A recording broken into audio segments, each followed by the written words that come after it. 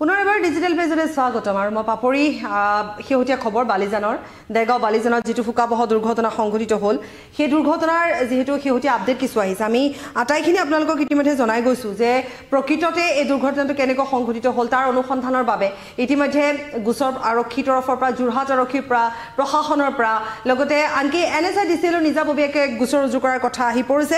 আৰু তাৰ মাজত আমি কৈছোঁ যে ক্ৰেছ ইনভেষ্টিগেশ্যন টীম দিল্লী পুনেৰ পৰা আহিছে। তেওঁলোকে চাৰিদিনকৈ অনুসন্ধান চলাব যে প্ৰকৃততে এই ঘটনাটোৰ কাৰণ কি? এই যিটো শোকাবহ ঘটনা সংঘটিত হ'ল তাৰ কাৰণ কি? কিছু তথ্য মই এবাৰ কৈ দিছোঁ এইখিনিতে যে ছেভ লাইফ ফাউণ্ডেশ্যনে অনুসন্ধান চলাব। অসম চৰকাৰৰ আমন্ত্ৰণ মৰ্মে সংস্থাটোৱে দুৰ্ঘটনাস্থলী পৰ্যবেক্ষণ কৰিছে। বিজ্ঞানসন্মতভাৱে পৰীক্ষা কৰি দুৰ্ঘটনাৰ প্ৰকৃত কাৰণ নিৰ্ণয় কৰাৰ চেষ্টা কৰিছে সংস্থাটোৱে। প্ৰথম পৰ্যায়ত তিনিজনীয়া দলটোৱে ঘটনাস্থলী পৰ্যবেক্ষণ কৰাৰ পাছৰ পৰ্যায়ত দুৰ্ঘটনাগ্ৰস্ত দুয়োখন বাহন পৰীক্ষা কৰিব আৰু চেষ্টা কৰিব কাৰণ নিৰ্ধাৰণ কৰিবৰ বাবে। এতিয়া কথা হৈছে যে তেওঁলোকে কাৰণ নিৰ্ধাৰণ কৰিব যে প্ৰকৃততে এই দুৰ্ঘটনাটো সংঘটিত হোৱাৰ কাৰণ কি হ'ব পাৰে।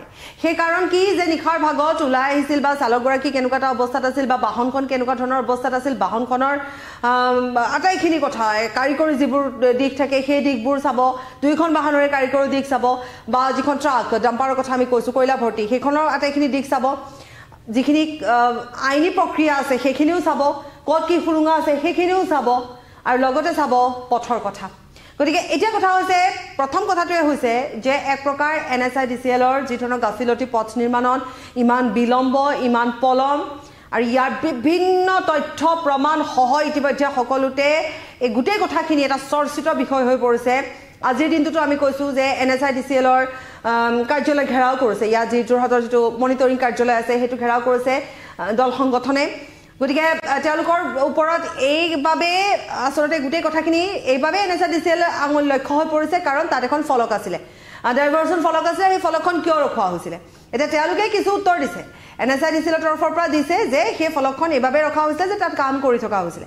যদি তাত কাম কৰি থকা হৈছিলে ৰোড ক্ল'জ নাছিল কিন্তু। অৰ্থাৎ যান বাহন আহি আছিলে। তাৰ মাজতে দুৰ্ঘটনাটো সংঘটিত হ'ল। সেয়া যিয়ে নহওক যিহেতু অনুসন্ধান চলাব এই ভয়ংকৰ শোকাবহ যিটো দুৰ্ঘটনা সংঘটিত হ'ল যি দুৰ্ঘটনাই এখন এখন ঘৰ শেষ কৰি পেলালে। একো একোটা পৰিয়াল শেষ কৰি পেলালে। এতিয়াও আঘাতপ্ৰাপ্তসকল চিকিৎসালয়ত আছে। তেওঁলোকক চিকিৎসাধীন অৱস্থাত ৰখা হৈছে। আটাইকেইগৰাকীয়ে বৰ্তমান ক'ব পাৰি যে তেওঁলোক সংকটমুক্ত নহয়। তেওঁলোকৰ যিটো অৱস্থা কোনোবাই যদি নিজৰ পিতৃক হেৰুৱাইছে কোনোবাই নিজৰ কন্যাক হেৰুৱাইছে কোনোবাই সেই পৰিয়ালটোৰ আটাইকেইগৰাকীকে হেৰুৱাইছে। কেৱল মাথো ঘৰত থকাজনহে বাচি গৈছে। গতিকে ইমান এটা ডাঙৰ ঘটনা এই ঘটনাটোৰ ইনভেষ্টিগেশ্যন হ'বই লাগে। এতিয়া কথা হৈছে ইনভেষ্টিগেশ্যন অনুসন্ধানক আমি কিমান দূৰ বিশ্বাস কৰিম? কাৰণ ইয়াৰ আগতে জোনমণি ৰাভাৰ প্ৰসংগ উত্থাপন হয়। যেতিয়া জোনমণি ৰাভাৰ মৃত্যু হৈছিলে তাৰ পিছতে পুংখানুপুংখকৈ আমি পথত দেখিবলৈ পাইছিলোঁ তাত অনুসন্ধান চলোৱা হৈছিলে। C I D C B আইৰ পৰা আৰম্ভ কৰি তাত যিসকল আৰক্ষী নিশাৰ ভাগত আছিল কোনে কৰা নাছিল পৰীক্ষা কোনে কৰা নাছিল অনুসন্ধান সেই সময়ছোৱাতে সেই পথ দুৰ্ঘটনাটো আজি কোপতি কিবা কাৰণ ওলালনে? সেই অনুসন্ধানৰ অন্তত ওলালনে যে জোনমণি ৰাভাৰ মৃত্যু কেনেকৈ হ'ল বা কি কাৰণত হ'ল বা বাহনখনত কি দুখ আছিলে বা বাহনখনত কি আছিলে? বা জোনমণি ৰাভাৰ কি দুখ আছিলে নে সন্মুখৰ পৰা বাহনখন আহিছিল খুন্দা মাৰিছিল যদি খুন্দা মাৰিছিল সেই বাহনখনৰ আঁতিগুৰি সকলোখিনি চোৱা হৈছিল নে? আনকি জোনমণি ৰাভাৰ প্ৰসংগ উত্থাপন হ'লে এটা কথা মনলৈও আহে যে এই ঘটনা উকলি যোৱা বহু দিনৰ পিছত বহু মাহৰ পিছত তাত মোবাইল ফোনো উদ্ধাৰ হৈছিলে। গতিকে এনেকুৱা এটা ডাঙৰ ঘটনাৰ যেতিয়া আজিলৈকে আজি কুপতি কাৰণ উদ্ধাৰ নহ'ল গতিকে আৰু এটা ডাঙৰ ঘটনাৰ কাৰণ উদ্ধাৰ হ'ব বুলি আমি কেনেকৈ বিশ্বাস কৰিম? ক্ৰেছ ইনভেষ্টিগেশ্যন টীম আহিছে চাৰিদিনকৈ থাকিব অনুসন্ধান চলাব অনুসন্ধানৰ মূৰত কি ওলাব? যে কি কাৰণত ঘটনাটো সংঘটিত হ'ল? হয়তো N S I D C এলে ক্লিন চিটো পাব পাৰে। হয়তো পথ তাত যিহেতু কাম কৰি আছিলে কাম কৰি থকা সময়ত ঘটনাটো ঘটিছিল। কথা হৈছে ফলক তাত লগোৱাই থৈছে তেওঁলোকে কৈছে যে কাম চলি আছিল কাৰণে ফলকখন তাত আছিল। কিন্তু সেই ডাইভাৰচনখনকে তেওঁলোকে লক্ষ্য কৰি তেনেধৰণে আগবাঢ়িছিল। হয়তো এনেকুৱা হ'ব পাৰে যে ড্ৰাইভাৰৰ দুখ বুলি ক'ব পাৰি। কাৰণ ইতিমধ্যে এটা কথা ওলাইছে যে ড্ৰাইভাৰগৰাকী বা চালকগৰাকী যিহেতু স্থায়ী বাছ চালক নাছিল। গতিকে গোটেই এংগলবোৰ যদি এতিয়া অনুসন্ধান কৰি চোৱা যায় ইয়াত ইতিমধ্যে এই যিটো শোকাবহ ঘটনা সংঘটিত হ'লে এই ঘটনাটোত বহু হেৰুৱা গ'ল বহুখিনি। গতিকে তেনে ক্ষেত্ৰত এতিয়া অনুসন্ধান টীম আহি ইনভেষ্টিগেশ্যন টীম আহিছে। গতিকে তেওঁলোকে কি উলিয়াব পাৰে? যে কি কাৰণত দুৰ্ঘটনাটো সংঘটিত হ'ল? নে এই কাৰণ উদ্ধাৰৰ পিছত এটা কথা স্পষ্ট হ'ব পাৰি নেকি যে অনাগত দিনত দুৰ্ঘটনা ৰোধ কৰিব পৰা যাব? যে এইবোৰ গাফিলতি হ'ব নালাগে বা এনেকুৱা হ'ব নালাগে বা পথৰ এনেকুৱা হ'ব পাৰে। কিন্তু প্ৰকৃতপক্ষে গোটেই কথাখিনিৰ পিছত N H I D C এলক আমি টাৰ্গেট কিয় কৰোঁ বা সকলোৱে টাৰ্গেট কিয় কৰি লৈছে? টাৰ্গেটিভাৱে কৰি লৈছে যিবোৰ কাম ইমান দিনে সম্পন্ন হ'ব লাগিছিল শেষ হ'ব লাগিছিল সেই কামবোৰ আজি কোপতি শেষ নহ'ল। ক'ৰবাত যদি চাৰি বছৰ কাম শেষ হ'ব লাগিছিল আজি ইমান দিনে ইমান সময় ইমান বছৰে সেই কাম শেষ নহ'ল।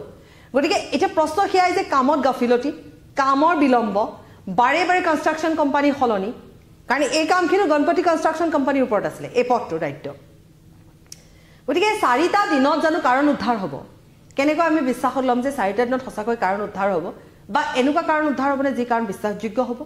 কাৰণ যিহে ন যিয়ে নহওক যিহেতু গুৰুত্ব সহকাৰে লোৱা হৈছে বিষয়টো ইনভেষ্টিগেশ্যন টীম আনিছে যে কি কাৰণত প্ৰকৃততে এই দুৰ্ঘটনাটো সংঘটিত হৈছে। হয়তো সৰ্বসাধাৰণ ৰাইজে কিছু কথা ভাবিব বা মনত প্ৰশ্ন উঠিব যে হয়তো এতিয়া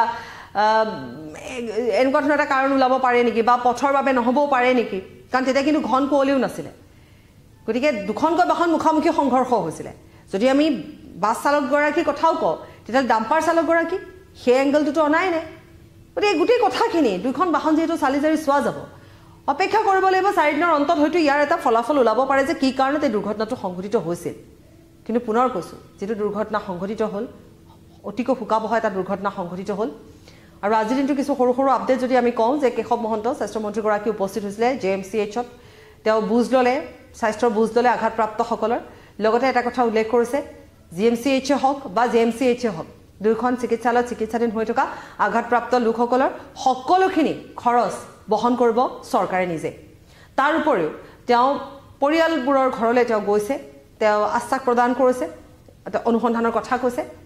কিন্তু এইখিনি উল্লেখ কৰিব লাগিব যিয়ে নহওক যিগৰাকী চালকৰ কথা আমি কৈ আছোঁ মৃদুল বৰা যিগৰাকী বাছ চালক তেওঁৰ ঘৰৰ যিটো অৱস্থা দেখিবলৈ পোৱা গৈছে পিতৃ একমাত্ৰ পুত্ৰৰ যি তেওঁ উপাৰ্জন কৰিছিল। গতিকে সেই পুত্ৰই হেৰাই যোৱাৰ পিছত পিতৃয়ে এতিয়া দিগবিদিক হেৰুৱাই পেলাইছে। পত্নী আৰু পাঁচ বছৰীয়া কন্যা আছে সেইগৰাকী চালকৰ। গতিকে সেই নিশাটো কি হৈছিলে পত্নীয়ে ইতিমধ্যে কৈছে। গতিকে আটাইখিনি দিশ আচলতে চাই কাক কেনেধৰণে সাহাৰ্য বা কাক কেনেধৰণে সহায় কৰিব সেই কথাখিনিও উল্লেখনীয় হ'ব। চৰকাৰে কেনে ব্যৱস্থা গ্ৰহণ কৰিব। কাৰণ দুৰ্ঘটনাটো সংঘটিত হ'ল। ইয়াৰ কাৰণসমূহ যিহেতু এতিয়া অনুসন্ধানৰ আৱৰ্তত আছে। কিন্তু এইসকল পৰিয়াল যিসকলে নিজৰ আপোনজনক হেৰুৱাইছে তেওঁলোকক চৰকাৰে কিছু সহায় সহযোগিতা আগবঢ়োৱাটো সকলোৱে বিচাৰিছে। কাৰণ আটাইকেইটা পৰিয়ালে যদি চোৱা গৈছে যে তেওঁলোকৰ খুব বিশেষ এটা তথ্য অৱস্থা তেওঁলোকৰ অৱস্থা যিটো দেখিবলৈ পোৱা গৈছে তেওঁলোকে বহুখিনি খৰচ বহন কৰিব নোৱাৰিব যিখিনি সৌভাগ্যক্ৰমে বা চৰকাৰখনক তেওঁলোকে ধন্যবাদ দিছে যে চৰকাৰখনে সেইখিনি খৰচ বহন কৰিছে। এটি কণমানি প্লাষ্টিক চাৰ্জাৰীৰ কথাও আছে। গতিকে তাৰ বাবে তেওঁলোকে চৰকাৰখনক ধন্যবাদ জ্ঞাপন কৰিছে। মুখ্যমন্ত্ৰীগৰাকীকো ধন্যবাদ জ্ঞাপন কৰিছে স্বাস্থ্যমন্ত্ৰীগৰাকীকো। গতিকে গোটেইখিনি পাছত এই যিটো চাৰিদিনীয়া ইনভেষ্টিগেশ্যন যিটো টীম আহিছে দিল্লী আৰু পুনেৰ পৰা গতিকে তেওঁলোকে সবিশেষ উলিয়াব অপেক্ষা কৰিব লাগিব। জোনমণি ৰাভাৰ দৰে যাতে নহওক অন্ততঃ এটা কাৰণ ওলাওক। যিয়ে নহওক।